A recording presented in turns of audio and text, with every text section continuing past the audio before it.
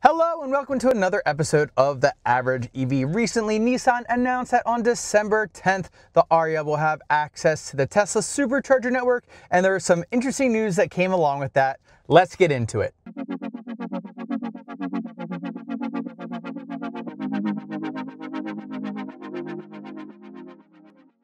So if you haven't heard, Nissan went ahead and was letting all the Ariya drivers know that December 10th, they will have access to the Tesla Supercharger network and that they would be able to purchase the adapter and something else from Nissan for what I believe was $235. If I was wrong, I'll put it down here, but I'm pretty sure it's $235. Now the extra thing is this little tab and this tab inserts into this kind of gap where the charging port is for the Nissan Ariya and um, they say that you need that to be able to use a adapter, the Tesla adapter. And like all the other manufacturers, they've stated uh, that you are not permitted to use third-party adapters. Um, so we, we, we know that has been pretty consistent with all manufacturers. So that left a lot of people wondering about third-party adapters and you know they're not going to come with this little tab thing that goes into the, the, the gap in the charge port if those would be able to charge.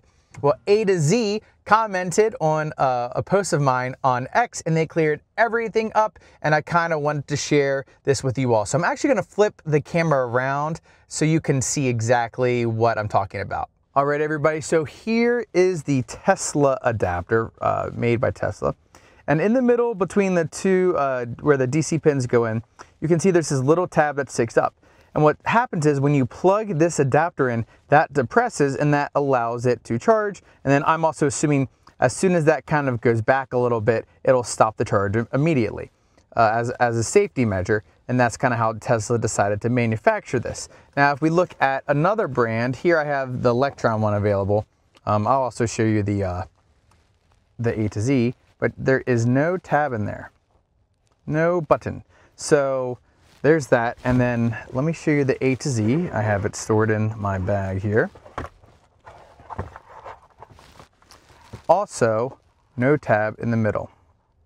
It's, it's hard to see because it's dark in there, but no tab in the middle. All right, so what does A2Z have to say about that? Well, they basically said that with that pin in the Tesla, they needed the little plastic thing. For theirs, and also I observed for Lectron's, you don't have that pin, so you don't need that extra piece of plastic in there to have something to press against. Um, so very interesting. So why do I bring this up? Well, as always, I recommend that if you're going to use an adapter, you should use the, the Tesla one because at this point in time, for warranty concern and stuff like that, uh, you, you'll be sorry out of luck if you use a third-party adapter.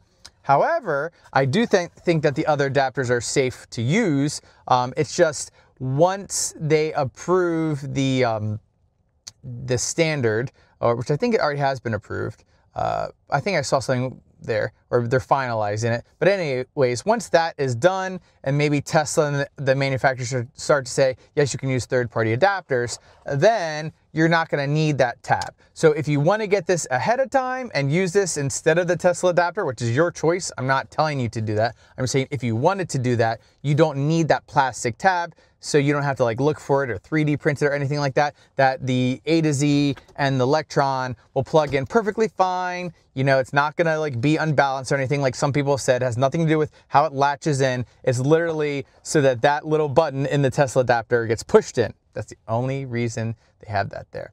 So I hope you all found this video helpful. If you were deciding that you wanted to get one of these adapters, again, like I said, uh, I'm just gonna keep saying it, you know, use this until everything is approved. But if you want to not and you wanna get this as fast as possible and order from A2Z, you can do that as well. If you wanna do that, I do have a code, uh, AVG EV, average EV, AVG EV, and you can get, I believe right now it's 5% off. They changed it a bunch, so it's hard for me to say. It used to be 10, actually used to be 15 at one point in time, uh, but whatever. So you can use that to get a little bit off, and that is um, cheaper than the Tesla adapter that you would buy from Nissan to get the plastic tab.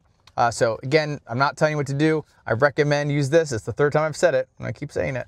Uh, but that's it. So anyways, thanks again for watching. If you haven't already, please remember to give a like, a subscribe, hit the notification bell, and I will catch you all next time.